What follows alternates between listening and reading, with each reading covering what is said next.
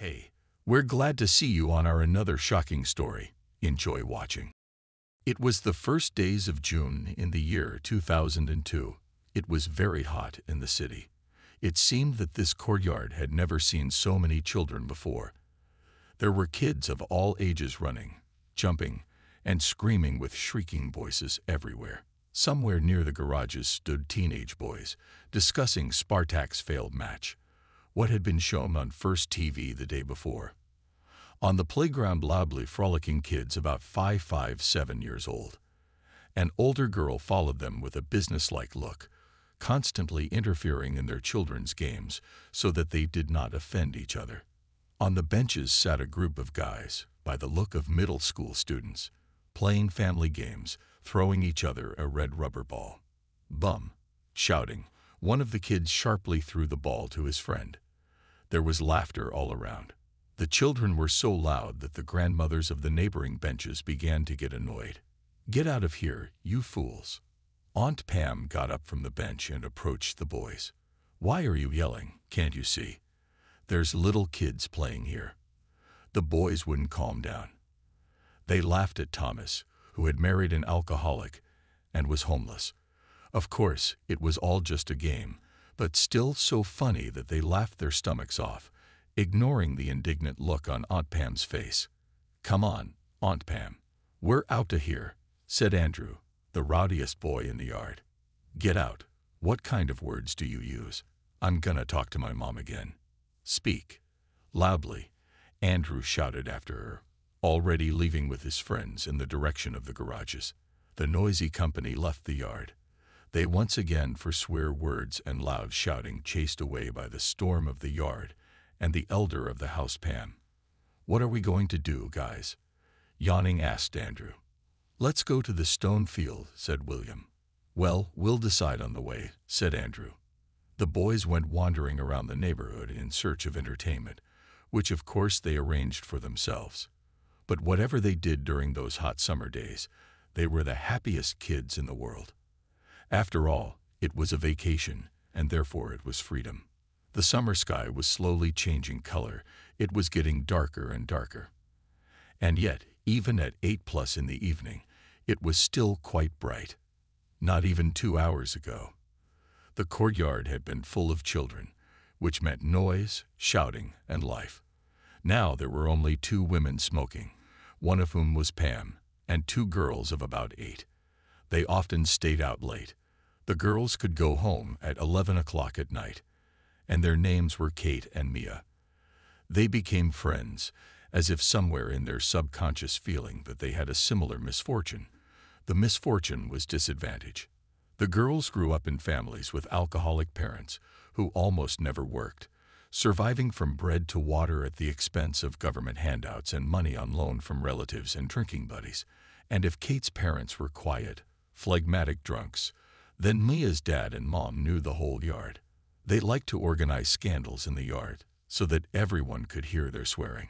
It was quite a spectacle for the neighbors. Most of them looked out of their windows and balconies in a civilized manner, and the rare few people tried to assuage the couple's grief. One of these brave women was Pam. She considered it a necessity to observe the situation in a place where children walked and adults rested.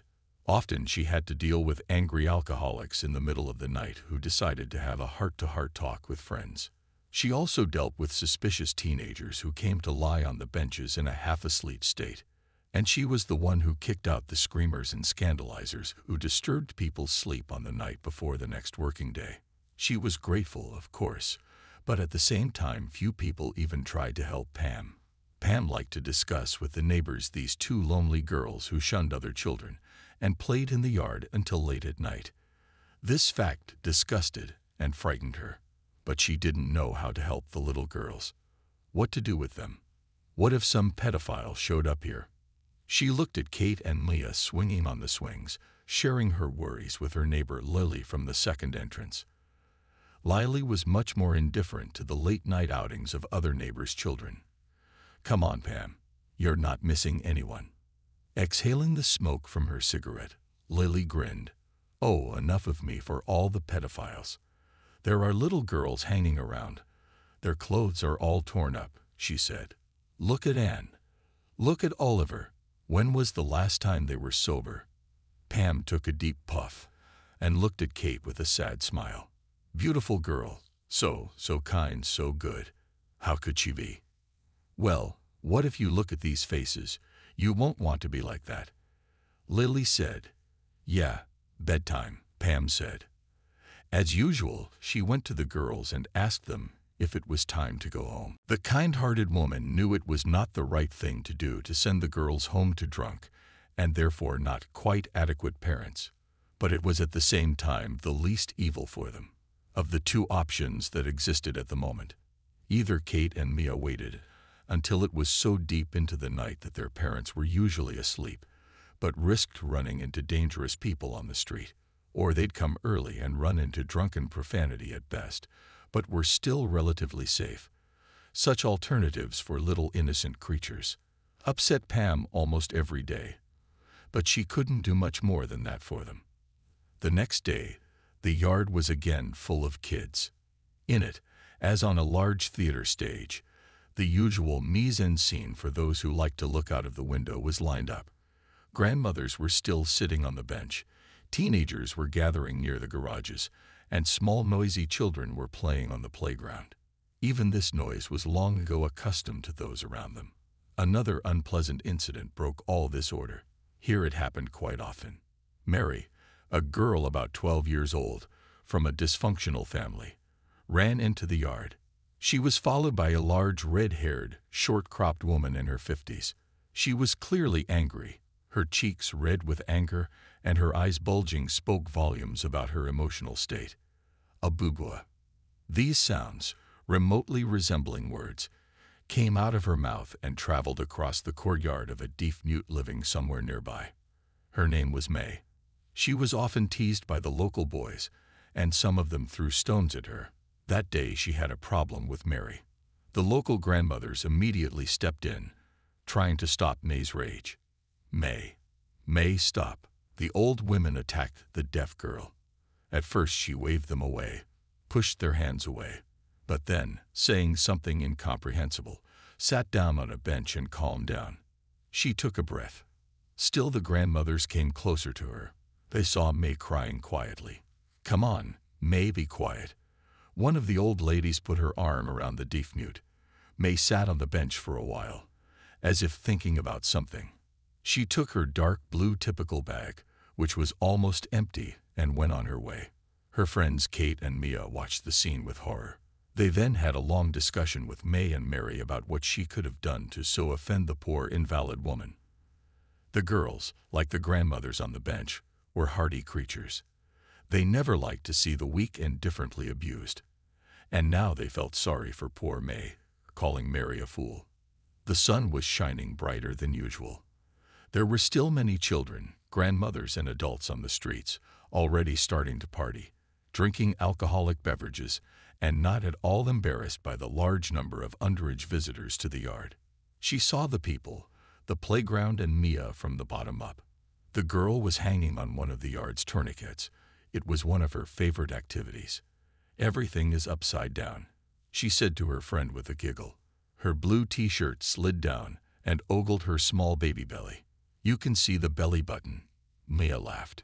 Kate, who was hanging on the tent, was embarrassed and timidly took hold of the edges of her t-shirt and pulled it back up. The two little innocent angels were playing so carelessly and talking about all sorts of silly things on the playground, and everyone had stopped their eyes on them at least once. They were cute, and at the same time in the eyes of these two beautiful creatures there was already a lot of pain, and even a lot for seven-year-old girls. It got colder outside, and a strong wind blew. In a matter of minutes, the courtyard became completely quiet. Almost everyone went home. Thunder rumbled in the distance. A woman in her fifties sat on a bench.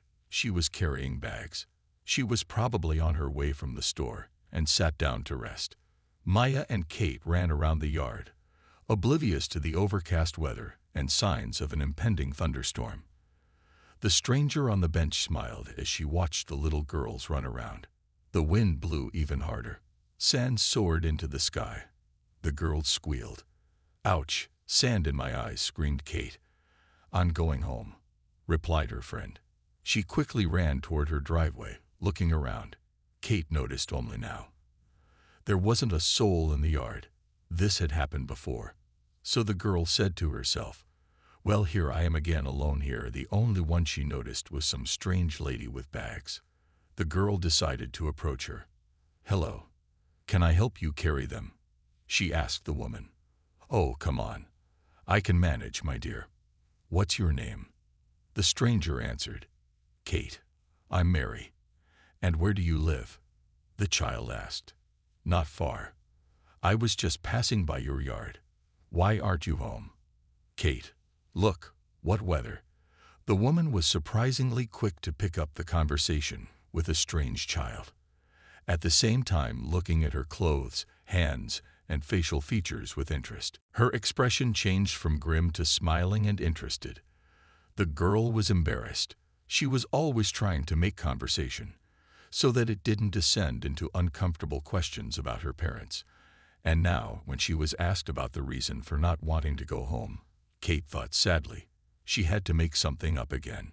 She was silent for a long time, and Mary, noticing this childish, innocent embarrassment, answered, Go home anyway. There's a big hurricane coming. Look, the sand has already risen into the sky. I'm not afraid. A few years ago, when I was, I was what? I think four, I was left on the street alone. And it just started happening. Well, then they took me away. But I almost flew away. The girl animatedly recounted the events of that terrible hurricane of 1998 in Moscow. But I immediately saw that you are a brave girl. Now run, Mary replied. Her face broke into a smile of delight. All right, Kate answered cheerfully. She walked slowly toward her house. The wind was still blowing. After a few more minutes, it started pouring rain in the city. Kate's parents, Anne and Oliver, were drunk and scandalous alcoholics. The family was on the books as dysfunctional, and everyone knew their situation. The father and mother were quite young. Anne was 40 years old and Oliver was 42. In addition to Kate, a boy named Tim was growing up in the family. Where he disappeared in the summer vacation, his 14 years, no one knew. Well, or rather knew, but only the same no one needed wandering in the yards of his friends' teenagers. They ran around the garages, played soccer, and drank beer, asking the local strange man to buy them a couple or three cans at the liquor store. When Anne met Oliver, they were both quite decent people and didn't drink that much. But genetics took their toll. Oliver's father was a heavy alcoholic. He caught almost all of his scandals and fights with his mother and one day it was as if he was turning into that man. Anne, being an orphanage, and therefore having no family model in front of her eyes, began to degenerate as a person. At first she drank with her husband so that he would drink less. Then she became addicted to alcohol. Having no higher education, they couldn't find a job that would suit them. And now every time one of them got a new job, not even a month passed before they were fired.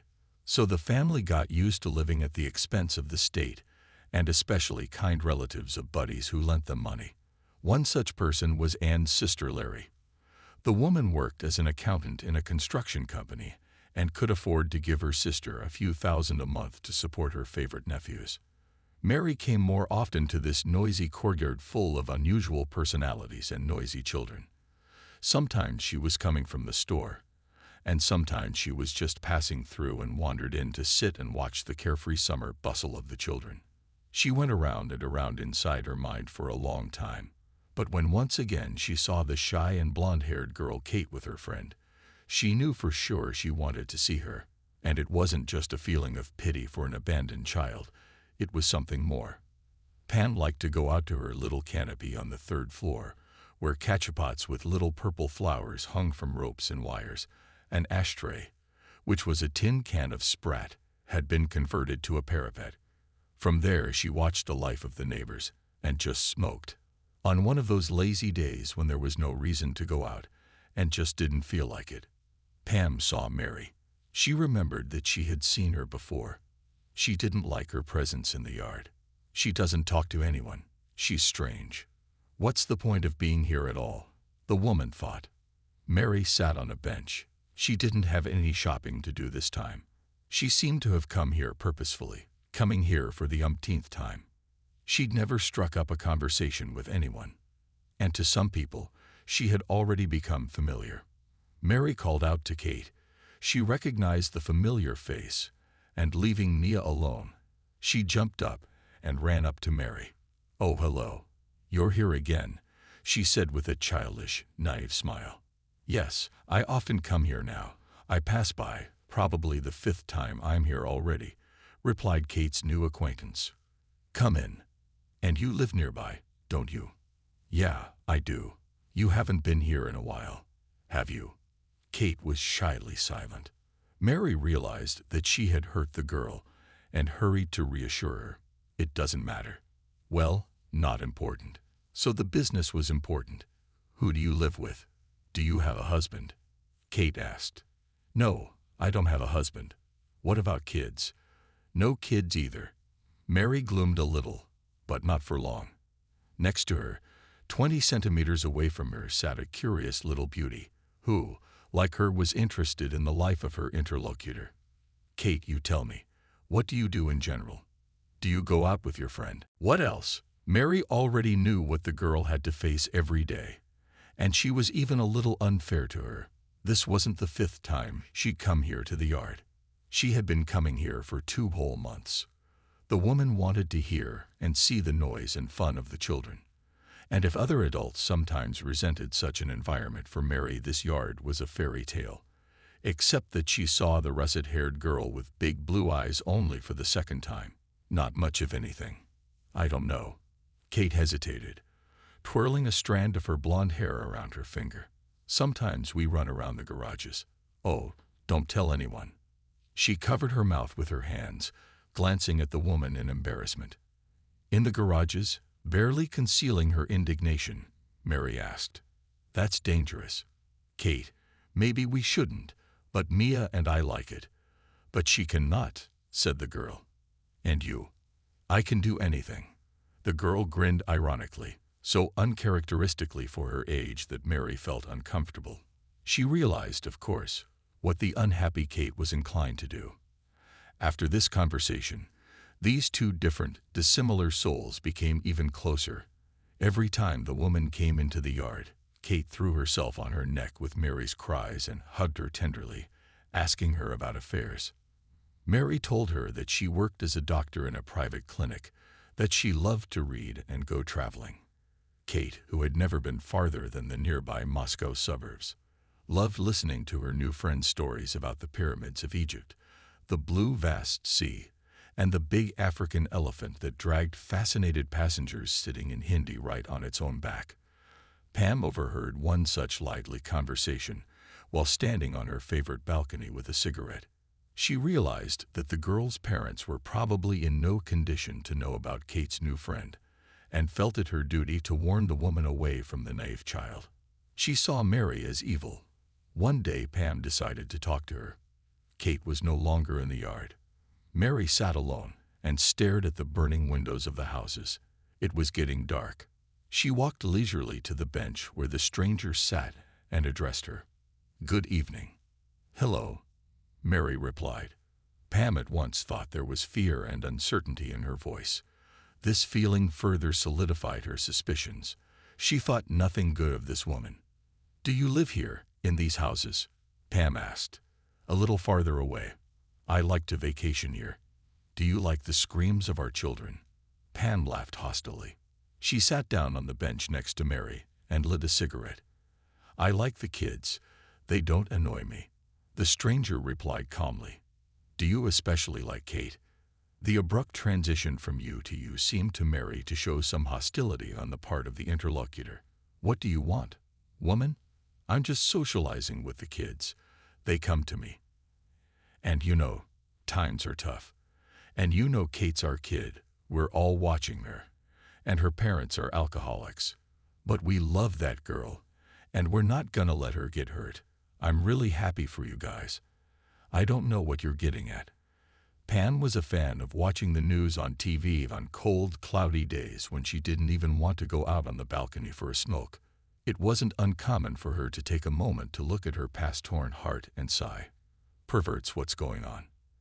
At that time, it was not uncommon to hear news about pedophiles, maniacs, and people involved in such black businesses as illegal transplants, slavery, and drug trafficking.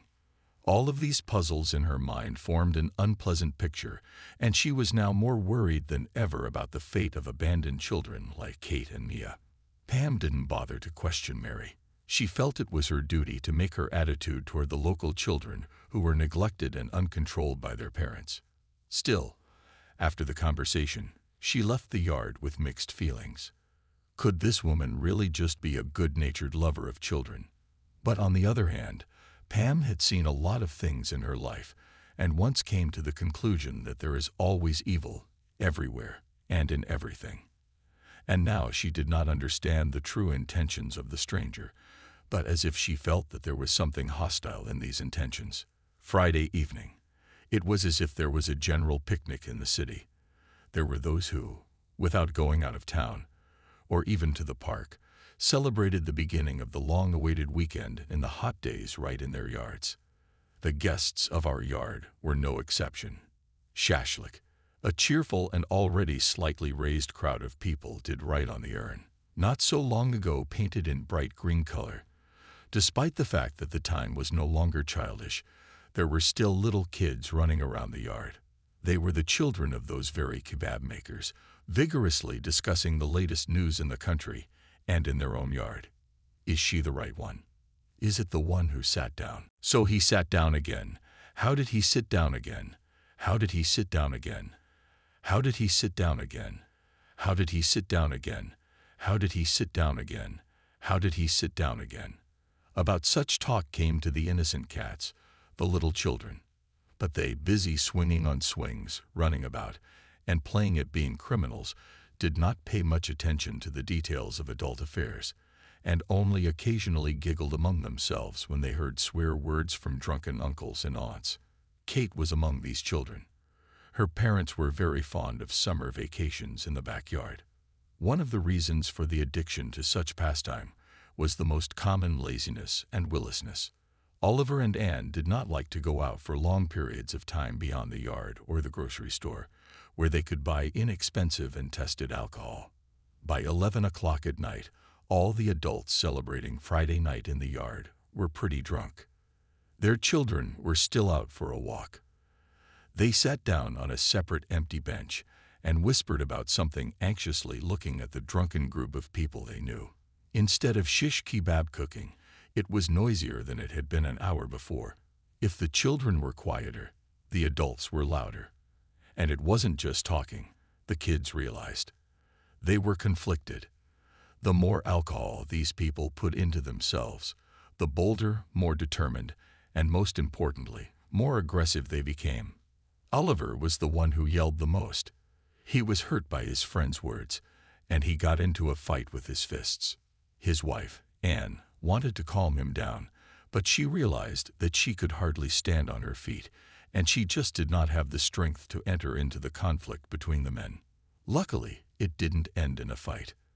Oliver waved hysterically at his buddies, and Anne and Kate stood for a long time over his crouched figure, sitting on the bench, urging him to go home. The drunken father of the family had a half-empty bottle in his hands and was barely holding it. The family's entreaties had no effect on Oliver, and he barely got up from the bench and headed deeper into the houses, unbeknownst to him where he was going and why. The next day, Kate was approached by a crowd of boys and girls about 12 to 13 years old. They were smiling evilly. Some had a look of embarrassment on their faces. Kate, I think your dad's in the driveway, one of them said, and the others giggled. What? No, said the girl thoughtfully and sadly. Yeah, yeah, there's your daddy lying drunk shouted someone from the crowd. Go look. Kate didn't go to the entrance of that house. She felt hurt and sad. It was shame for her own man. She was being looked at and laughed at, talked over, laughed at. And what was her fault? Toward her father, she developed a grudge that day. But she didn't know what to do with that feeling. Kate had hoped for years that things would change for the better in their family. She wanted to stop one day seeing those endless bottles, cigarette butts lying around the apartment. Kate wished her brother Tim wouldn't be out on the streets with the boys so much. Would they all go to the movies together? She thought sometimes, of course, the little shy girl never shared her worries with her family or anyone else. The most painful thing for her was to see a well-to-do mother and father walking with their children, daughter and son. She liked to observe such families closely, their habits, their gestures, their looks. Somewhere subconsciously, she tried to understand what was wrong with her family. It is difficult for an eight-year-old child to make complex conclusions, to philosophize about the causes of certain events that occur in life. Therefore, without making any conclusions, Kate continued to live as ordinary children live, playing with friends, studying at school, and of course, dreaming. Two weeks passed. Mary did not appear in the yard. Pam was telling the local grandmothers about how they had weaned her off the yard. Kate was constantly disappointed, passing all day in the yard, and not meeting this mysterious Aunt Mary, who, like a fairy godmother, came down to her from the fairy heaven. Only the girl got used to a new bright person in her life. Then that person disappeared. For her, it was a betrayal. But one day she came, dropping lightly onto a bench. A skinny, tall woman in a long blue dress and with a purse in her hands filled with groceries, and exhaled heavily. It was as if she'd been carrying heavy weights all day. Kate, seeing her from afar, rushed toward the bench. The child's delight was unparalleled. Mary, shouted the girl, and sharply breaking fell right on top of the woman. They embraced and began to share with each other the news of the past days. Pam was not the only one. Many people did not understand this country of friendship and considered the stranger, if not dangerous to the girl, then very strange and strange. Mary herself at first could not answer why she had made friendship with this little girl, but these thoughts of doubt quickly transformed to clear purpose. Kate was no longer so much embarrassed to talk about her feelings, about her attitude toward her parents, and how sometimes she had to be ashamed of them. She had long considered whether to tell her about the unpleasant event that had happened with her father, because she had never before wanted to take the dirt out of the house and be frank about her family. But now that she felt that she had Mary's full confidence in her, her tongue was unbidden. Mary listened silently to Kate and asked her nothing for fear of hurting or offending her soul, and at the same time she was a very attentive conversationalist. Kate sometimes wondered how she could remember such details of her stories. Such interest of her new friend bribed the girl. Mary, do you have a mother? Kate asked her. Sometimes, as is often the case with little children, she asked her companion the most sudden questions that stumped her. Yes, there is Kate. Why do you ask? No, I'm just asking. It happens. I just wanted to know. Mary was interested in everything about this girl. Even the most seemingly insignificant things were said by this lovely creature for a reason. And the woman began to slowly consider meeting her as fate. It happened one hot July afternoon. At first, Mia, Kate's friend, which was quite unusual for her, was walking alone in the yard. The local grandmothers were surprised by such an event. Mia, her aunt called out to her, Why are you walking alone? Where's Kate? Kate was gone. I don't know. Finally, it got dark in the yard. Kate was gone. I wonder where Kate is. She and Mia walk together all the time. Pam wondered. I don't know. I'm still worried. Pam went to Kate's parents' house.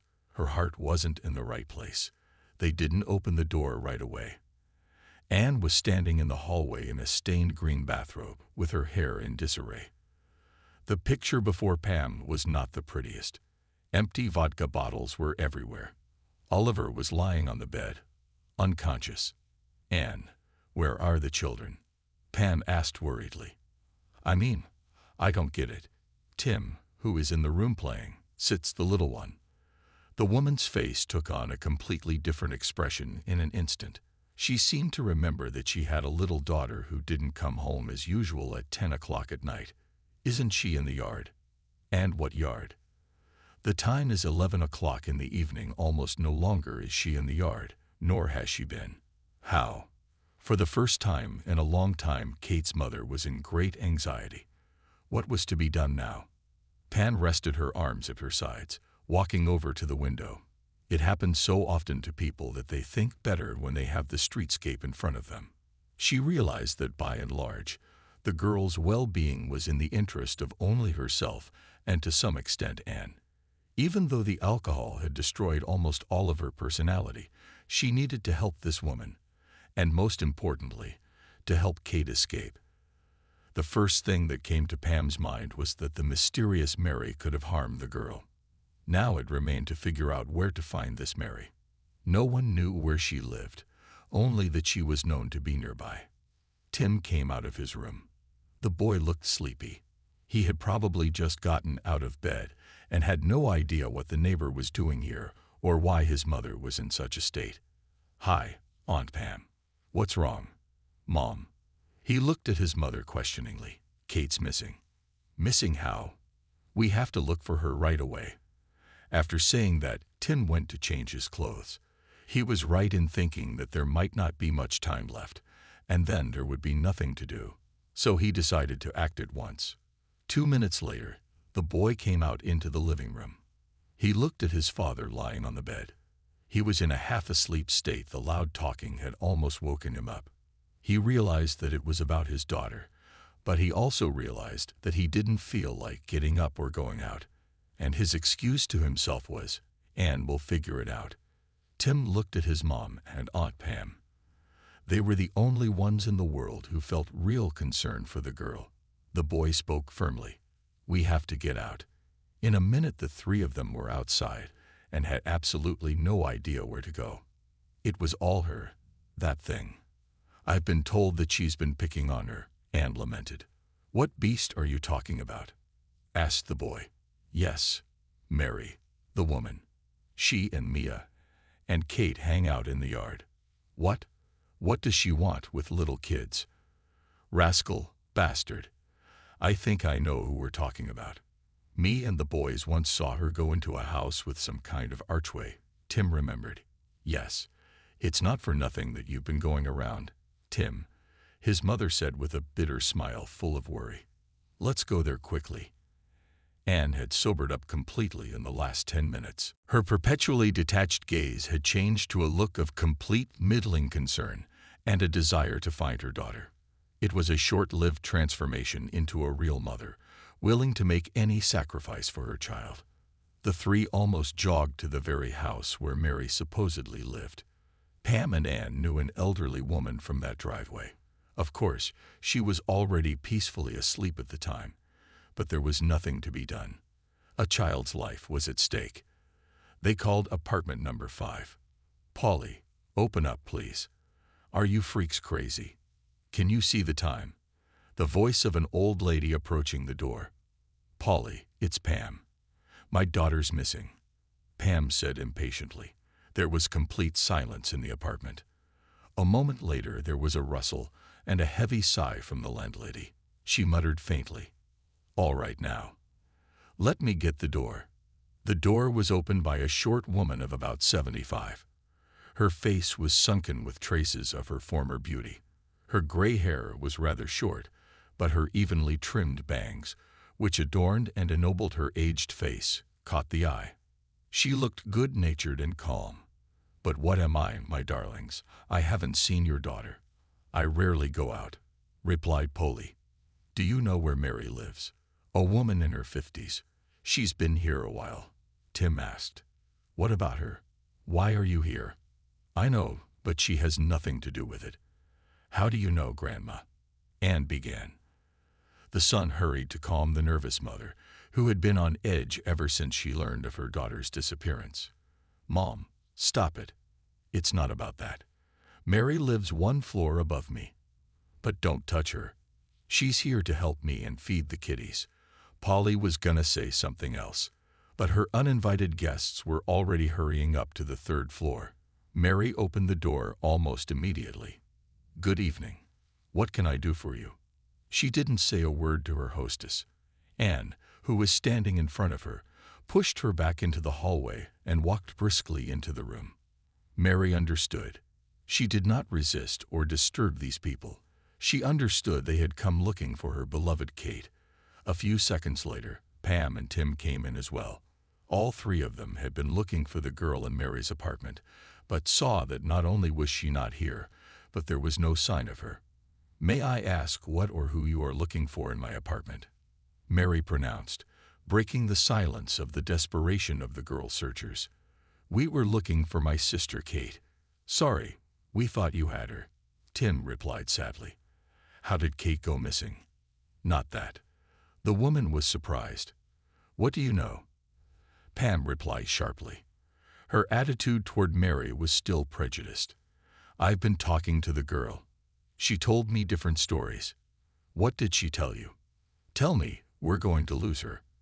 Anne turned emotionally to the woman and, with her hands on her head, slumped down on the blue couch against the wall. She talked about some cars on sticks, saying she really wanted to go there, but didn't know who to go with. Anne, Aunt Pam, and Tim looked at each other. They all realized what cars were being talked about. It was the local attraction near the Oriental Movie Theater. Almost at a run, they headed toward the place. Pam, please go. Go home. Anne begged the woman, out of breath. She could see that Pam was in no condition to move that fast. And still she tried. Yes, Aunt Pam, we'll find Kate on our own now. We'll tell you everything right away. All right, screw it. I'm gonna go. Don't wait up. The old woman of 67 slowly took a step and sat down on a bench outside the apartment building. If only she could be found alive, she thought. Her heart was both fearful and painful for this child lost in every sense. Now there were two of them. The people closest to them were looking for Kate. They got to the rides that were about to close. Have you seen a little girl around here? They turned to the vacationers. Anne and her son began to describe her, but everyone was silent. Suddenly, one of the noisy group of young people asked, Was she alone? We don't know. There was a girl. Looks like yours. They left about five minutes ago. She was with a man. What man? Anne cried out. Which way did they go? To these five-story buildings. The young man pointed to the gray paneled houses rising among the other buildings. Even more worried, Mother and son ran toward the houses. They both knew one of them was a dormitory. Upon reaching that building, they rushed into the courtyard. To their delight, they saw Kate there, standing next to a suspicious man in his thirties. You bastard. Get away. Get away from my baby. I'll call the police, you bastard. Anne threw herself at the man, and he ran away. As far as the eye could see, Tim moved toward him. But his mother shouted, Tim, stop. The boy obeyed. You can't catch up anyway. Let the thing run.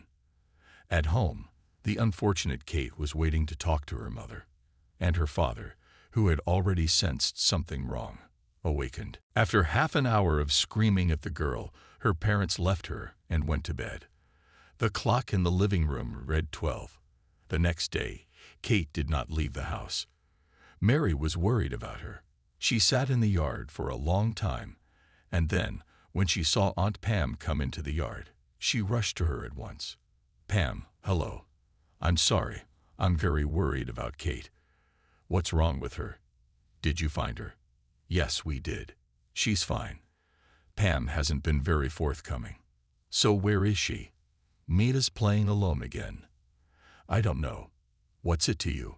What do you care about other people's little kids? Why are you talking to me like that? What right do you have? Mary was indignant. I don't understand. I just don't understand why you want this girl. She's not your daughter. She's not your relative. You don't know her parents. What do you want? I know Kate. She's an eight-year-old girl. You're not her company. What do you want from her? Mary kept repeating the same question. But Mary didn't want to play the role of the self-justifying defendant trying to prove her innocence. Her parents are alcoholics. They almost lost the girl. What if I hadn't been there? Pam remained silent. She realized that there was truth in the woman's words. Mary continued, I've grown to love this girl, and I'm worried about her. I see how hard things are for her. She won't even go home when it gets dark. You see all this and you say to yourself, they're other people's kids, don't get involved. But I'm just talking to her, to you. Her mother's drunken face and her abusive father are the best thing for the girl. Are you asking me what I want? What do you want? What do you want from me? Do you want me to stop talking to her? Would that make her life easier? I don't know. I sense danger in you. Kate just needs a friend. She needs someone who will listen to her and understand her. I would never hurt her. But her own parents, they're abusers. They could be dangerous to her. They're her parents. Annie is her mother. You have no right to discuss her. Why don't you take care of your own children? Pam didn't choose to talk about this because she didn't understand basic ethics. When you don't know someone, you don't bring up serious topics without knowing anything about their fate. No, she asked the question because she wanted to bring Mary out into the open, to understand what motivated her to communicate with Kate. It's my private life, and I don't have to answer to anyone. All I'm saying is that Kate's in danger. I want to do something to help her. Both women were left with their own opinions and feelings after the conversation, but Mary was more right that day than ever. What's more, her words were prophetic.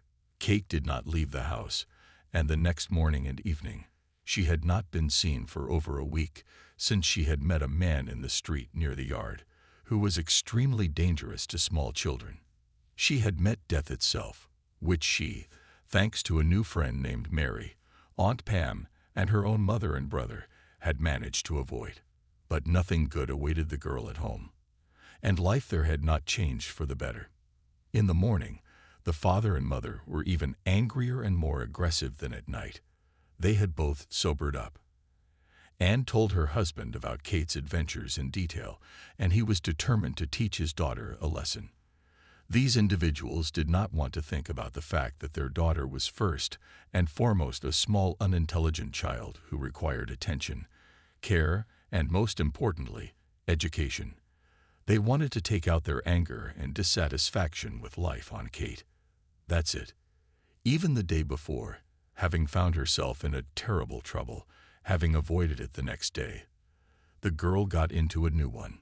The parents had waited for the usual departure of the 14-year-old son from home, beat the girl, and, of course, didn't hit the child hard. She more shouted and controlled the actions of a scoundrel husband who heartily beat his own child in belt and bare hands. After a while, the perverts realized that the girl had not been out of bed for a long time. They found traces of blood on the pillow. Kate had to go to the hospital. She received serious beatings. Cruel parents worried not a little for the girl's health, but for the fact that they will have to answer for their actions before doctors, and maybe even before the court. Before going to the hospital, of course, they had to come up with some sort of legend that would explain such severe injuries on little Kate's face and body. The doctors in the emergency room looked at each other. They weren't just looking at the baby. The appearance of her parents made them realize the girl had been beaten by them. The young medic smiled at her colleague. It was, of course, a smile of irony. How many times had they encountered similar tales of a bad fall or a collision with a lamppost? Meanwhile, the nature of the injuries was obvious. It was a beautiful hot summer. On a July day, cheerful and noisy, Kate lay in her bunk at the children's hospital and looked out the window dreaming of getting out of those gloomy, unpleasant four walls sooner. The only thing she was grateful to this place for was the temporary protection from her hated relatives. She missed her friend Mia, the other neighborhood kids, even though she didn't interact with them much. Kate was already starting to reminisce about school. She wanted to go to third grade. She was also thinking about her adult friend Mary and wondering if she would be worried about her absence. She was really worried about this stranger's feelings. She was not such a stranger to her now. On the contrary, there was something native in her voice, her look, her smile. Despite all the care of doctors about little Kate, at the moment of discharge she was almost healthy, but she could not regain her original aesthetic appearance. Still on her face were bruises and dribbles. But the girl did not worry about it, because ahead was a meeting with her dear and close people. After the beatings at home, Kate began to appreciate the friendship with Mia and Mary even more. She stepped out into the courtyard. All eyes that day were directed toward her. And even though Kate was a little girl, she could feel everything. Her bruises were looked at with special attention and interest. Hi. The friend hurried to hug the girl. Hi, Mia. I missed you. Oh, what's wrong with you? Did someone beat you up? I fell. Oh, that's a pretty bad fall, huh? Yeah. Aunt Mary asked about you a lot. She was worried. I know she was. But it's okay. We'll see you soon. Mia kept asking about the details of the fall. Of course, she didn't realize that she was hurting her friend and that she was making up stories as childishly and ineptly as she could. Kate had not been so uncomfortable and hurt in a long time. She caught herself in a difficult and unchildish thought. I already have to lie to hide all these nightmares from others. And along with that, she firmly decided, I don't want to lie like this for the rest of my life. But as usual, she didn't know what to do to make her life, which was still just beginning, change for the better. Mary was not in the yard that day, and this fact upset Kate. Still, she was glad to be back in such a familiar and native place as the yard. At the same time, when she looked at the entrance of her own house, she became gloomy and depressed. Even her legs shook and with all her soul and body she wanted to stay away from that place. When she, having remained in the yard, as always almost last, still headed for the entrance, she felt how bad thoughts overpowered her. Panic was setting in. Each step was given to the girl with heaviness, as if more and more shackles were chained to her feet. She stood near the front door for about five minutes, thinking, I don't want to go there. I really don't want to go there. I'd rather live on the street or at Aunt Mary's. I don't want to live with them. I hate them. Why isn't Aunt Mary my mom? It would have been better for everyone. It was the first time the girl had ever had a thought that was so strange, yet so logical. To live at Aunt Mary's, she did not want to impose on anyone and realized that her thoughts would not turn into reality.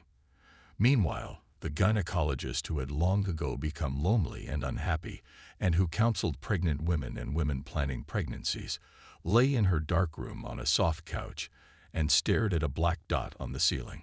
Her eyes were so focused, as if she was contemplating her future life in that dot.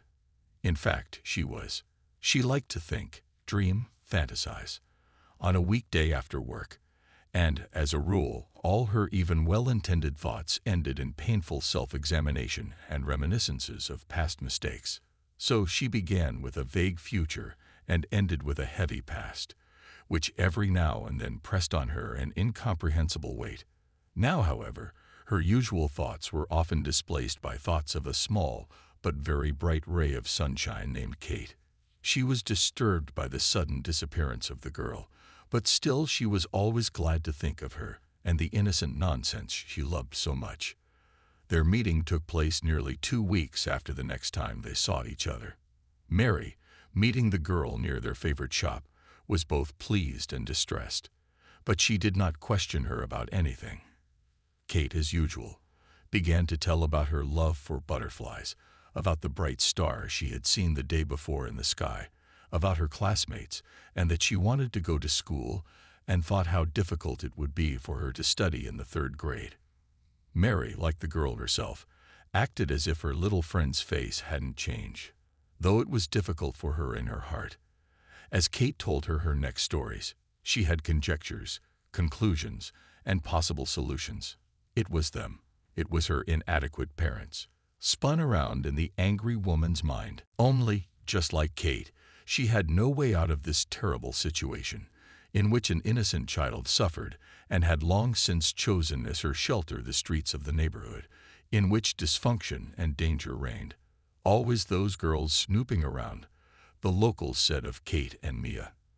They didn't like it, and they understood the reasons for the girls' new wanderings on the street, but no one wanted or saw any point in doing anything to help them. And why should they? The little girls had parents, which meant that everything that could happen to the children was on their conscience. Well, yeah, fair enough.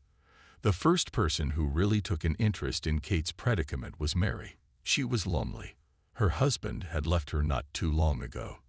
They'd been married for 20 years, a decision that had been extremely difficult for the two of them, especially Mary. She loved William. She gave him all the home comfort, warmth, love, care, but most importantly, from some time for William was to hear, finally, the cries of a baby in their beautifully furnished but so quiet apartment. Mary was 52.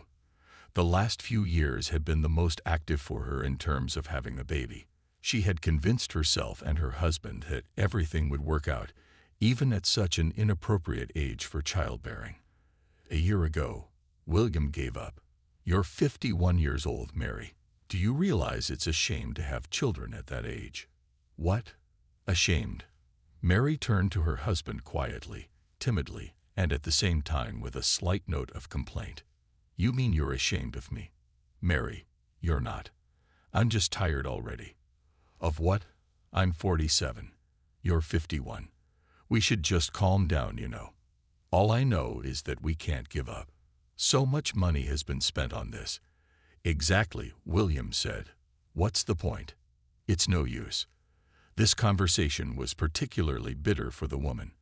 They had been married for so many years and now, after the hurtful words, the union had every chance of falling apart after many years. William also worked in the field of midwifery. Lately, it had become hard for him to do this important business of delivering babies to women because his beloved had never given him a child. The decision to leave Mary was not easy for him, but he did not make it overnight. William simply postponed it for another year. He loved her, but her prolonged hopeless infertility sometimes upset him to such an extent that the only solution he saw was separation. William felt himself growing colder and colder to his wife, to her problems, to her successes, and even her joys when she smiled and laughed. All he did was squeeze a smile out of himself. 52-year-old gynecologist, M.D. Mary, of course, saw the changes in her lover, but she didn't want to accept them. She let him go with the thoughts that he, like her, was tired of being devastated. At first, Mary was supportive of her former spouse, called him and inquired about his mood, his health. But things change. In a moment, she learned that her own beloved William was getting married for the second time, and the chosen one was a young girl nurse named May. Mary knew her. They often saw each other in the residence room. The girl was sweet and modest. She was pretty, but she was immature. She had no idea that a certain nonverbal relationship had already been established between them that little by little was destroying her already shaky marriage. Mary later learned that May was pregnant. She made a difficult decision for herself that day. She moved from the neighborhood where she and William had met and lived, where she had worked for over a decade. A private clinic had long beckoned to her, and she, as if sensing that these people would be useful to her one day, had not turned them down, citing her inability to get a job with them due to various difficulties. Mary found it hard to breathe. Again and again stumbling over information about her ex-husband's private life, it became unbearable. William tried to avoid her, though, so as not to hurt her feelings. They worked in the same place, which meant that meetings, though rare, were inevitable. She moved to a less affluent neighborhood, but it was geographically convenient for her daily commute. It was here that she first saw this little girl, who touched the most delicate strings of her soul. The thought of children never faded in her mind. She still wished to have a child, and even planned to go to an orphanage. But acquaintance and further sweet, kind communication with Kate postponed this trip. She was no longer interested in other children. For her, as for other real moms, they were strangers' children, and Kate had become her own so imperceptibly and quickly. Another, already less tense conversation with Pam seemed to gather all Mary's thoughts into one decision. She didn't know what she'd heard from her neighbor, but she felt she understood everything. You again? asked Mary approaching, holding the bags in her hands. It's me again. You know, I live right here in the neighborhood. Maybe I can't sit in the neighbor's yard now. You're starting to act as weird as I am if you want to. Okay, that's enough of that. Where do you go grocery shopping? Flavor City. We all go to the 10 instead of the meetings. Well, I can go there. The woman I was talking to answered indifferently. Clearly, she was thinking about something else, was not very concentrated on the conversation. There was silence between the women. A light summer breeze ruffled the blonde strands of Mary's crabbed hair. She was staring off into the distance, toward the noisy roadway. Mary, are you married? I'm not. And children? Mary didn't answer. Pam didn't bother asking her. She suddenly thought of Kate's family. And these alcoholics are our two children. Tim and Kate is your favorite. And Anne is from the orphanage. Orphanage. Mary asked thoughtfully. Oliver's ours. I remember him as a little boy. He was 25. We had a wedding. We partied all night, went to a restaurant. It was so steamy. I don't know where he found her. And then they sucked on a bottle. And that was it. There's a lot of them around here. It's just the scandalous ones. Mary eagerly caught every word Aunt Pam said, looking for salvation and a way out of the situation. And when she got home with bags full of food and lay down on her blue couch, she began to have intrusive thoughts. Anne is an alcoholic from the orphanage. Kate doesn't know her grandmother. So, why are you telling yourself all this? No, what the hell is that? It's August. The kids were starting to feel a little more strongly about school. Some were anxious, some were happy. And there were those who were especially pragmatic, who thought that it would be good to use the last summer days to the fullest and not to think about the future. But as it got significantly colder outside, neighbors smoking on the balcony no longer observed such a noisy and large crowd of children in the yard. It became noticeably quieter and calmer. It was a quiet, calm, and cool day. Kate went outside in a light pale green jacket. Mia wasn't outside. She was walking alone, daydreaming. And every once in a while, she changed her stride to a sprint. Her mind was whirling merrily with childish, funny, ridiculous, and simply amusing thoughts. Mary came in later. She called out to the girl, Kate, hi. How are you? Mary, hi. I'm good. How are you? She walked up to her friend and saw that she looked puzzled. Mary had been really thoughtful in the morning and afternoon at work, and now that she'd met Kate. Mary, you look sad, the child said. I'm just brooding. Oh my goodness. About what? About you, Kate. I think about you a lot now. About me. What's there to think about? After a moment, the woman said uncertainly, You're just like me. Yes, you like butterflies and stars too. The girl smiled. No, my girl, that's not the only thing you and I are alike. You're my kin. My kin. You, my kin. Kate did not understand what the enigmatic Mary was getting at. Mary was silent. She was embarrassed. What she, having already thought over several times what had been long ago decided, was now so difficult to voice to this little trusting angel how she did not want to deceive her. I am your grandmother. Quietly, she said. But you can't be. Saying these words loudly, the girl took a deep breath and covered her mouth with her palms. I don't have a grandmother. I don't have a mom. She's from the orphanage. I know, Kate, your mom was taken from me a long time ago. And now I found you. Tim, you, my daughter. Your mom upset me. I don't want to know anything about her. 11006. Does she hurt you? So mom doesn't know about you? No, but you know everything now. Mary wanted to make one very important and unexpected suggestion to the girl, but restrained herself, figuring she'd had enough information today that was not only shocking but false. This woman had suffered a lot in her life. It had been a long agony, despite her efforts in righteous living to be faced with the fact that she could not once again have a child. A big and sharp blow was the betrayal of her husband. Of course, all these events affected Mary, and she was no longer the same. Morally, the moral boundaries within her were erased. It seemed that she was ready for the most any stupid, rash, and terrible step. She thought long and hard about the neglected, blue-eyed girl named Kate, and finally, she had made up her mind. She was going to steal her away from her family. Mary was at the stage of thinking over her actions. She had no right to make a mistake. A mistake meant a complete failure in her life, closing the last door to personal happiness, if only at this late date. In her case, it meant imprisonment. Mary knew if she was caught, she wouldn't survive the shame of prison. Careful and cautious, the resident of the house with the archway wasn't just watching Kate. She already knew quite a bit about her parents, her brother, those who might have caused the threat. One of them was Aunt Pam. Mary learned that the grief-stricken parents had been on a terrible bender as of late and saw and understood little of the world. Tim came home less and less often. Rumors that Anne and Oliver were in an inadequate state spread from bench to bench.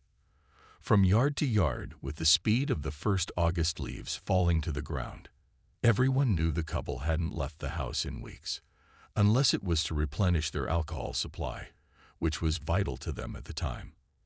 On the day of the false confession, Mary was still a little doubtful about the correctness of her act and further plans. She sat at home in the semi-darkness and pondered. But to each of her inner questions she found the answer that was the justification she so desperately needed. That night she was like a schismatic who divided people into those who trembled and those who had a right. Mary asked herself questions why am I afraid to deprive the girl of suffering? Does she really have a right to have and raise children? Where is the justice? As time went on, questions became fewer and fewer, and in their place were now mostly assertions that Mary, of course, believed to be correct. Alcoholics, not human beings. Kate has a right to be happy, and I will make her happy. Why have I been tormented all my life? Why is it fate that I have no children? I've done everything for this. Shall I not be rewarded for it and have an outlet? Mary interrupted her heavy thoughts with a cry. She felt unbearably sad and afraid. She feared for herself in case of failure. She feared for the girl in case something within her should tremble. And she would leave it at that. But she wiped away her tears and looked at the homemade bracelet of small colorful glass balls that Kate had given her the day before. I'm going to save this girl, no matter what. They met again. Kate knew where her adult friend lived, and Mary invited her over. It was early weekend morning, about 8 o'clock or a little earlier. That way the risk of being seen by the locals was reduced many times over. Mary was afraid Kate wouldn't want to go far away for a long time, and with a stranger from her family. Tim she loved, though she rarely saw him. She loved the place she lived in. She also loved the school and the teachers. Thoughts of the girl's possible disagreement were now perhaps the only obstacle to her goal. Mary looked at Kate. Her bruises were almost gone, the girl had been surprisingly cheerful that day. So you didn't tell anyone, like I asked you to. Kate, what's wrong with you? No, Kate whispered. Kate, I have something serious to talk to you about. I just need you to think about it. Okay. The girl looked intently at Mary. Kate, I want us to go away. Go to my place. It's a place in the country. For good. The girl asked. She was even more surprised and confused than she had been when she heard that the mystery woman happened to be a grandmother. This question was one of those questions that Mary had not at all thought through what was best for her to answer. To lie again, or to tell it as it was. She didn't want to lie to the girl again after that big deception. But her reaction scared her. Kate was frightened, and there was a sudden sadness in her eyes. She was a child. After all, and her parents, no matter how they sometimes acted, were her family. More importantly, she loved her brother Tim. Not for a year, maybe two. I want to. And then later. Then we'll come over. What will mom and dad say? They'll fight. I've discussed it with them. Unfortunately, there's no time for goodbyes. If we don't leave now, we'll never leave. Make up your mind. The girl stared at the floor for a long time. Occasionally she looked at Mary, but Mary just stared at the unhappy child, whose life would change dramatically in a moment. And what was wildest of all, she had to decide her fate here and now. All right. Sighs. We'll go.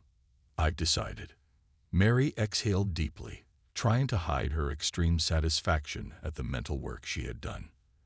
The woman had already prepared all the warm clothes, summer shoes, hygiene products, books, snacks for the trip, all of which fit into a dense bag and a large backpack.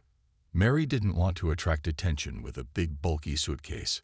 Her task was to get out of the city with the baby as discreetly as possible. They boarded a bus first, then another, then a third. This, too, was part of the caution. There was no need to show any identification on the bus because it was dangerous to leave any trace in the form of information about oneself. Mary had distant relatives she had visited when she was young. It was a village far from the city. Not abandoned, but dying. Mostly old people lived there, and life there had a slower and more measured pace. No one quarreled or fought there. People went about their everyday life, and went to the store five kilometers away from home, talked among themselves on benches, and sometimes just admired the view from the window, watched birds perched on the branches of trees and sunsets. If someone had the habit of coming here every ten years, that person would not notice that anything had changed. Even the villagers seemed the same. After decades, there was a magic to this place. The townspeople called the village by the humble name of Buki the Bermuda Triangle. Kate, to the delight of her new grandmother, in the first days of life in the village, showed herself as a child not fastidious and not picky. Let the atmosphere here was calm and quiet. But the eight-year-old girl had quite a hard time reorganizing her habitual regimen. Mary drew water for the two of them at the well. Bathing had to be done in a narrow wooden house with a wooden floor. There was an old soap dish on a stand, there was a bar of white soap stuck to it, which had already turned to stone, and it was impossible to wash properly. Fortunately, Mary had all the necessary hygiene products with her. She was chopping wood to heat the house. It was a most amusing sight for the town Kate. She'd seen wood chopping, of course, but only on TV. And they were all strong, sturdy men. And here was her grandmother doing such unladylike labor. After a couple of days of living in the cottage, which was, by the way, despite all the inconveniences, quite cozy for living in it, Mary and Kate had a conversation. The woman wanted once more to secure herself and her from the people who would certainly be looking for them. Glasses of delicious herbal tea were left on the table. Kate returned to the house after a hike to a nearby grove. So, did you find the mushrooms? Only one girl sadly showed a small podberezovik to her grandmother. Do not worry, here comes the fall. We'll go with you to the forest. We'll get plenty of them. Kate sat down at the table. She took the glasses in her hands and began to blow off the steam coming from the hot herbal tea, inhaling with her nostrils its beautiful forest smell. Mary looked at the girl and thought about the fact that she was still in danger. What if people came? What if word of the girl's disappearance was already going around the country? She remembered the look in her eyes, the sobered mother ready to kill for her Kate when she came to her house. What was she capable of? She didn't know. She needed to be reassured. As calm and detached as the people of the Buicks were, anything could happen. Kate, I want to ask you something, Mary said timidly. Kate had already taken a couple of sips of tea and was eating a cookie. Aha, the girl answered carelessly. Could you call me Mommy? Kate could not answer this question at once. A week ago, the person sitting across from her was just Mary, a few days ago her own grandmother. Now she was asking for something more difficult for a young child to understand. I know it's hard, but it's necessary. But I have a mom. Mary didn't try to persuade the girl. She decided that she herself would indirectly encourage Kate to do so. Now she addressed her not only as Kate, but also as daughter. She looked quite young for her 52 years, and subsequently, Kate, it was not so wild to one day still address her mother. Kate's appearance, too, had undergone a change. Her long hair, coming down to her elbows, was now short, and its tips barely touched her shoulders. Meanwhile, while Kate and Mary sipped tea in the rustic, stove-heated cottage, The couple had just noticed that their daughter had disappeared from the house and had not appeared for more than three days. Tim helped them to make such a conclusion. The boy had also been hanging around with his friends all this time, and it so happened that he just ran from the corridor to his room and only spent the night there and also quickly went out in the morning. The boy was influenced by a drinking party. There were 16-year-olds among them, and all of them had long ago known about beer, vodka, and brandy firsthand. Tim became bored just hanging around the streets of the neighborhood, and he joined the older guys. Now his summer routine consisted of fun drinking with older guys and girls, mopeds, and alcohol. Tim had felt something wrong for three days, but he couldn't figure out what was wrong. He was already living his own life, where there was almost no room for family, and though he loved Kate, he had forgotten about her for a while. The day he decided to relax at home for a while and play an online game with his friends, the older brother remembered that his little sister did not annoy him as before, did not ask him about anything, and did not ask to sit at the computer. He didn't see her in the yard when he came home. Tim went into his parents' room. They were both half asleep. Mom, Dad, where's Kate? Anne got up on the bed and stretched out her sleepy eyes with her palms. Kate, Oliver, Oliver, have you seen Kate today? The man, awake, still didn't understand what the housemates wanted him to do. Oliver, Kate, Kate's missing. Don't you get it? His wife screamed at him. She's gone. She's not missing. She's walking around the yard. From despair and indifference, Oliver Ann slowly sank into a chair and wrapped her arms around her head. What a nightmare. Kate. It was the first time she had ever cried for her daughter, and she risked never seeing the girl again and something told her that now there would be no happy ending, just as it had been when they had searched for Kate with Tim and Pam. On the day they realized Kate was missing, the district police had been raised by them, and the very next day the whole of Moscow was busy looking for the little girl. Across the city on almost every post and on every bulletin board hung a black and white portrait of Kate, beautiful, blue-eyed, girls with a kind smile and gorgeous long blonde hair. The case of missing eight-year-old Kate quickly spread across the country. Every region was involved in the search for the missing girl to one degree or another. Of course, when visiting the police station, they never forgot to mention a certain Mary, who for a while lived in a neighboring house and was friends with Kate. She's the one who stole the girl. I know for a fact she must be found, said the desperate woman. But it turned out that Mary lived in the apartment illegally, and no documents were provided to the landlord. A second case arose, and the police began searching for the owner of the apartment. All these problems further distanced Mary from the kidnapper's trail. It turned out that no one could say anything about this woman. Especially, the police did not want to develop a person who was not seen for anything criminal, except that the communication with the little girl was not clear to anyone including the investigators. They sat in a small stuffy office with old furniture and a computer that had already fallen behind the modern technology, turned on once in a while and discussed the case. There were two of them, Alex, a young investigator, and Mike, a senior police lieutenant. But what does she want from us? Angry as a beast. It's her own fault the girl's missing. You can see from her face that she was beating her. Well, Mike, we gotta find the kid. Who we got in the pipeline? No one. You remember what that broad said about that sketchy janitor who left with the girl. I think that's him. And Mary is some kind of fairy tale creature. Basically, if we work hard enough, we can find her. We could do a sketch based on the mother's description, canvass the neighborhood. Alex, let's not do this yet. Let's just keep looking for this creep for now. And that's for just hanging out with the little one. Are we gonna bring everybody up now? I think after those two words, Alex stopped talking. What could be the cost of revelations that he suddenly wanted to say?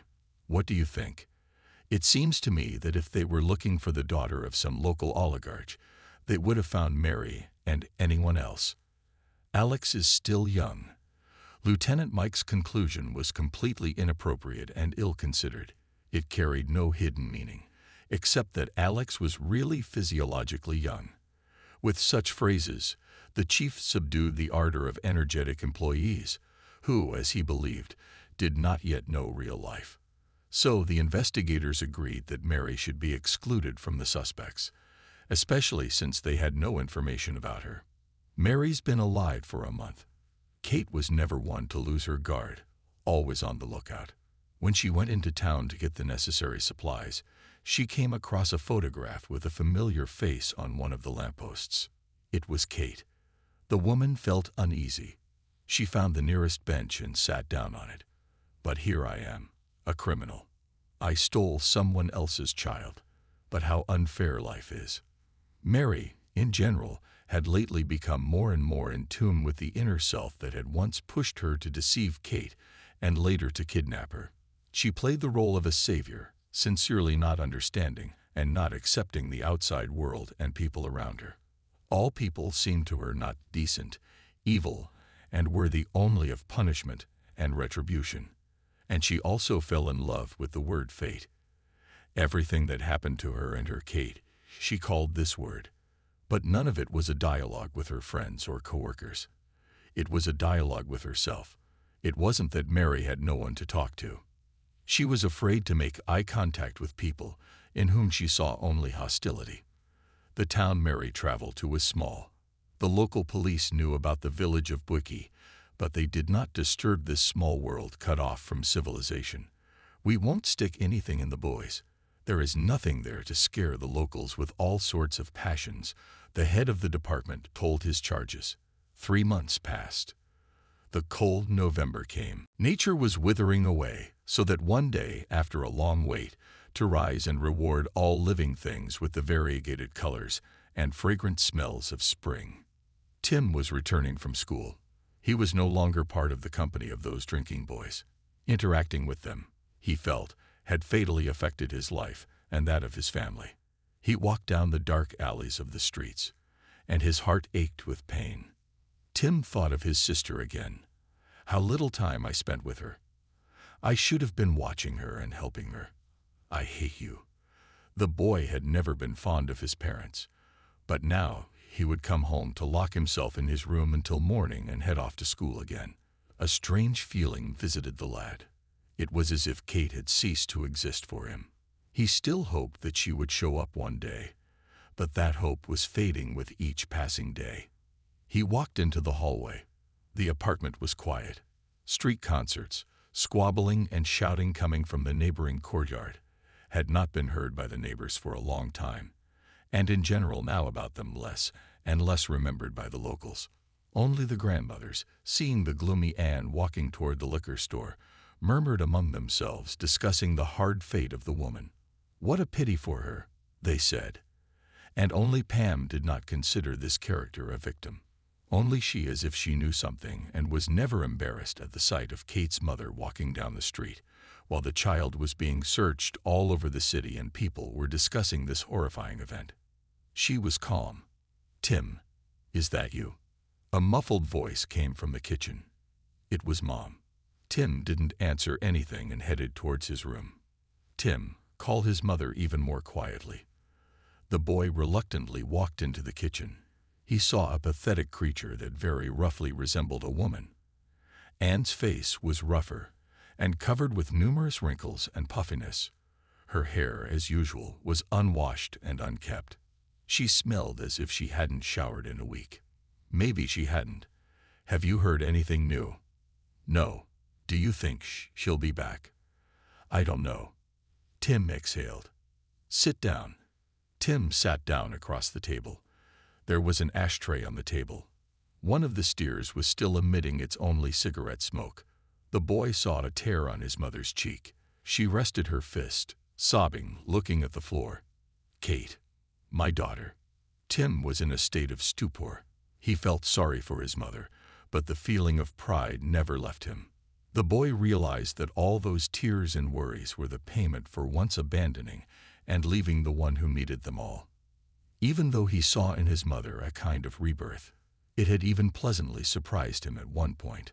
But the thought of Kate no longer with them brought him back to a harsh reality where there was no room for any positivity. Still, he instinctively got up from his chair and walked over to his mother. Tim put his arms around her and whispered, It's not your fault. Don't torture yourself. I love you. November replaced December, and later winter replaced spring.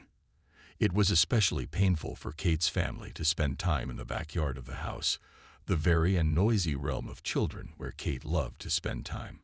Both Tim and his parents, after visiting the yard a few times, decided not to go there anymore. They began to avoid the place, but time inexorably went on and on, turning fresh wounds into scars, fresh memories into nothing. Kate grew up and grew good. When she turned 15, her mother's books and an old television with two channels were not enough for her. The girl had no friends, no phone. She was a recluse, and if her mother wasn't around, she would have gone feral. Mary began to get sick more often. She was in her 61st year. Her only help and doctor was her daughter Kate. She had left inside her this fear for her favorite and only creature on earth.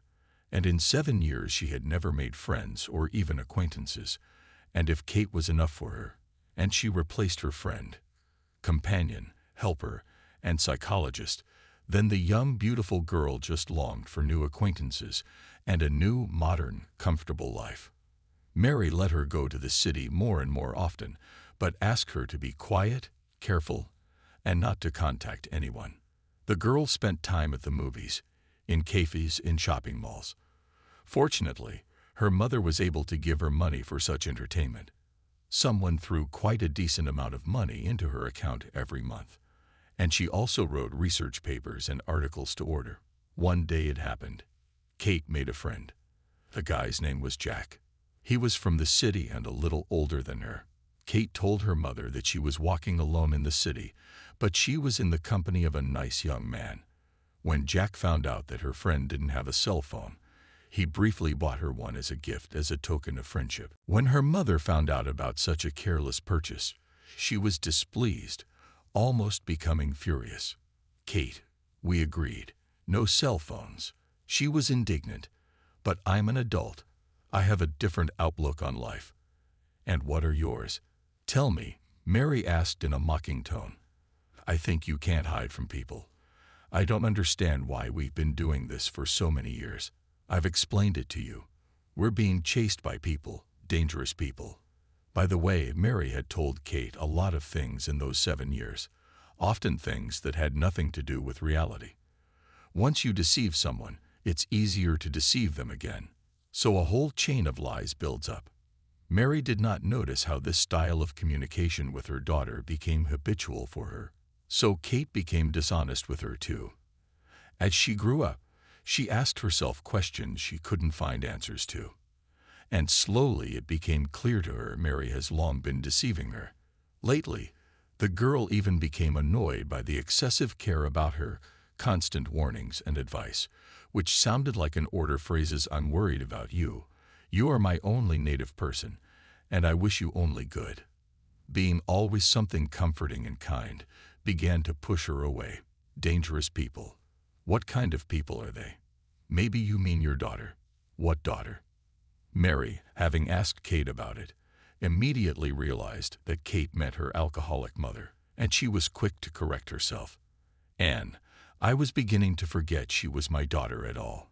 This conversation had been on her mind for a long time. She didn't understand how you could love your granddaughter and forget that you had a daughter. She now had even more distrust for the man she was living with. This whole picture of life was no longer comfortable and familiar to her. Kate, like a bird, wanted to flutter out of this not-so-golden cage, and flutter away. More and more often she imagined her father, her brother, and her mother. Kate missed them. Kate began to see Jack more and more often. And now she was taking English classes, and she was both scared and pleased to finally feel socialized with people her age, young students and college girls, and professors who were all educated and interesting individuals. She finally had the opportunity to socialize and came to this decision on her own. Kate was cramped in a village where the most interesting entertainment was watching an old TV with two barely working channels. They met after the course and went to the park. It was springtime beautiful outside. People were observing the most lush blooming of nature. It was the beginning of May. Jack had heard some things about Mary and didn't always understand her and Kate's relationship. He was interested in his girlfriend's life and one day decided to have a serious conversation with her. Kate, didn't I get it right? She's not your birth mother. She's my grandmother. She once asked me to call her mom. I did. Don't you miss yours? I do. But if I leave, she can't stand it. She once said if I left, I shouldn't come back. Kate, it's all manipulation. You have to realize that. What does that mean? Kate read fiction. Science fiction, of course. But she sometimes lacked versatile communication. She didn't know many modern phrases, trends, fashions. Jack was for her a savior in this world everything that seemed strange to the girl. For example, when watching a movie, she would clarify with her friend. That means, Kate, she controls her emotions, she knows you feel sorry for her and presses on. Yes, she does. But what do we do? Do you want to see your family? I want to see my brother. I don't know if I want to see the people who ruined my childhood. My grandmother saved me from them, but she stole you. Jack's sudden conclusion shook Kate's mind. She thought for the first time that Mary's act could, in fact, be considered a kidnapping. I did, but she said it was best for me. I was beaten, Jack, they drank. They were never interested. I understand that. But you also understand. She had no right to do that to those people. That day was the first time Kate had ever thought so deeply about the possible feelings of her first family. What if they're still hurting? What if they're looking for me?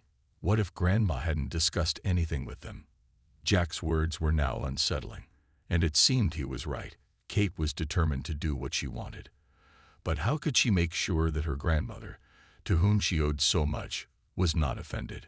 One beautiful May evening they had a conversation. Kate went on and on about how much she would like to see her brother Tim, but she could see that her grandmother did not want to talk about relatives. I've been wanting to ask you for a long time. Why didn't you take Tim with us? He's your grandson, too. He was a big boy. He wouldn't have gone. I talked to him. He made his decision. But why would you want to take away my ability to communicate with him? Kate, this is hard for me to talk about. Mary realized that Kate was backing her into a corner with this kind of questioning. What was she to say about a teenage boy she'd only seen a couple times? The woman's lies as the girl's curiosity grew more and more sophisticated. I want to go to them. I will. Kate cut her off decisively. No, it's out of the question. You and I have talked about it. You're not going to take me back. If I come, are you going to kick me out? No, no, no. Emotionally, the woman shouted. After a moment, having calmed down and taken a breath, she answered much quieter than before, as if to close the subject of all the girl's long-standing requests and complaints. They are dead. All of them. What? That can't be. Kate stood up from her chair pale. But it is. Mary, sitting on the chair in front of the dining table, rested her face in her palms. She wasn't crying. She wasn't hiding her tears, as people who want their emotions not to be seen by those around them usually do. She was hiding the absence of tears. She was hiding the shame of another lie. Another ten years passed. Kate was 25. At that age, she had to experience another, the most bitter loss of her life. Her own beloved grandmother had died. Though her identity was surrounded by more and more secrets with each passing year, Kate loved her sometimes strange, sometimes cruel, but very loving and caring grandmother Mary. By this time, the girl had already had a serious relationship with Jack, the very guy who often spurred her to assert her rights in dealing with her grandmother. As cynical as it may sound, but only after Mary's death, Kate decided to take the step that her beloved had been waiting for her for five whole years. She said yes, and it was two days after the funeral. Mary still to the end of her life accepted Jack, because she understood the girl will need care and support. After all, except for a real grandmother and a young man, she had no one in this world. At least she convinced her of that. Kate, having arrived in her native cozy little house, where she grew up and comprehended life through books and communication with Grandma Mary, was happy and sad. She realized I was entering a new life, but it was like something was keeping her dumb. And it wasn't just the death of a dear and close person. Kate felt that the death of her grandmother did not close all her spiritual worries and eternal state of anxiety. Her heart was still out of place. Both mind and body had been calling to Kate always, ever since the day of Mary's death. And here she was, surrounded by objects and furniture that had once been so familiar to her. And she had learned the roughness, holes, and irreducible stains of each. Strangely, the girl caught herself thinking that she had never laid or even sat on her grandmother's bed. She slowly walked over to it and sat down on it. That dark green bedspread that her grandmother used to cover her bed with. That red patterned rug that always gave the house a special atmosphere and coziness. The same one hung in the girl's apartment in Moscow. Those intricate figures on the carpet always brought the girl back to the past. She went deeper and advanced so that her back rested against the log wall. Kate threw her head back and cried. She was to be married soon. But somehow doubts were creeping into her soul. The girl did not want to start a new page of life, not yet having sorted out the old ones. In her soul hung a lot of questions about what happened to her relatives. Why did her grandmother took her so far away, and why did she worry only about her? Kate wanted answers to all these questions, and those answers came. After she calmed down and wiped away her tears with her hand, she turned to the wall and saw something white between the logs. It was deeply hidden.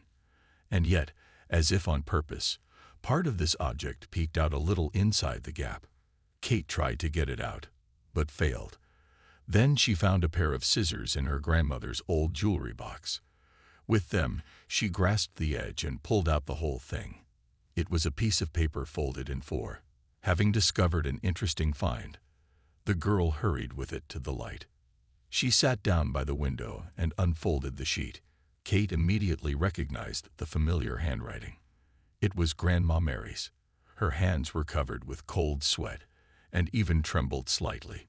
She didn't know the contents of the letter, of course, and couldn't even guess what it would say.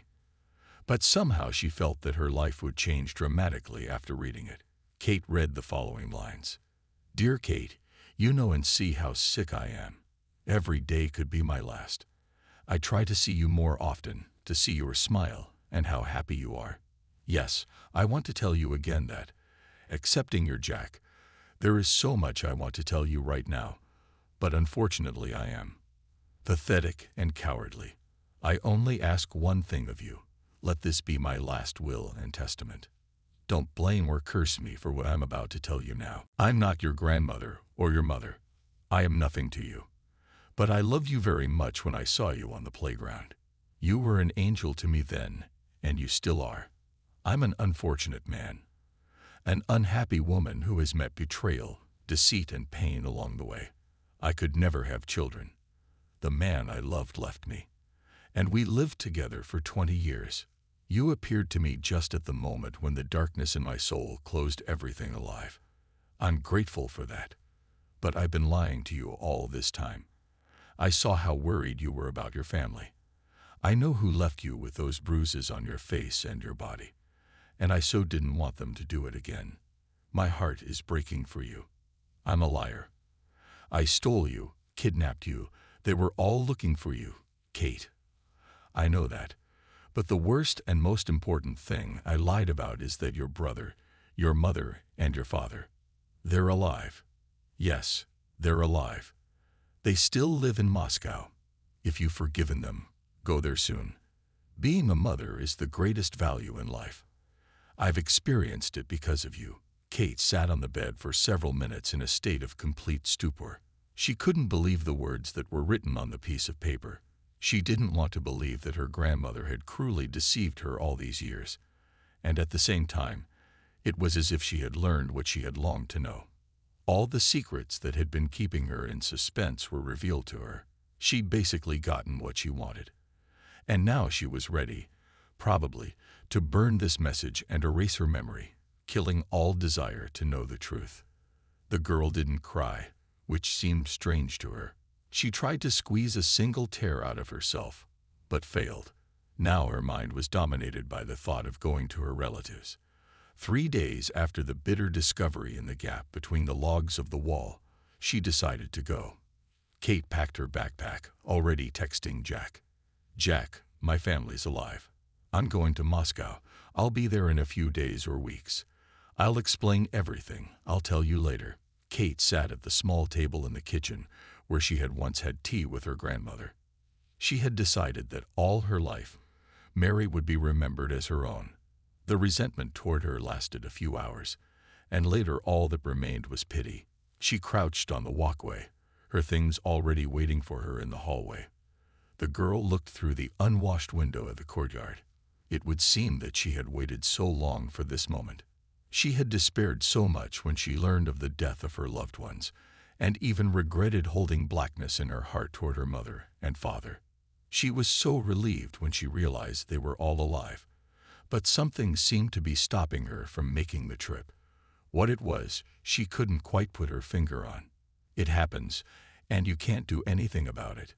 When feelings blossom inside you, bad or good or otherwise, but they're so strongly rooted in your head that every day, from waking up to falling asleep, you hear them, feel them, live with them. And a similar strong feeling came over Kate. She couldn't figure out what it was fear or resentment or rejection. But it was strong, taking up a sea of energy, a feeling. She thought, whatever the deception was, everything that has happened to me since I was kidnapped and moved to the boys has led me to what is happening to me today.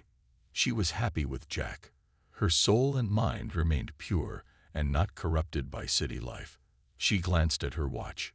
She had already missed the first bus to town.